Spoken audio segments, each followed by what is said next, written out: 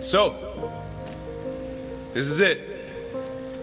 The call to adventure is upon you. You can either refuse the call like so many do, or you can join us on the journey of growing stronger. The path is in front of you. Strength Camp is the place with the process and the people for your success. But we grow stronger not for ourselves. Here, we grow stronger in order to empower one another. And it is in this that your legacy lies.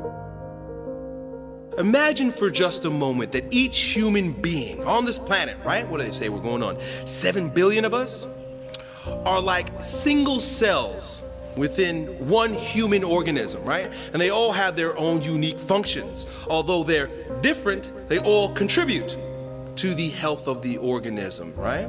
And if each organ is supported by individual cells that all do their jobs, the organ's gonna be healthy. I'll have a healthy heart if I don't have cells that go rogue or are less than themselves. So the key here to becoming the strongest version of yourself is to go in and realize that you're unique. You have a unique role to play here. Discover yourself. Discover your role and contribute in the same way that all the cells in your body contribute to the organ and the organism. You are a contribution to this world only when you are becoming the strongest version of yourself.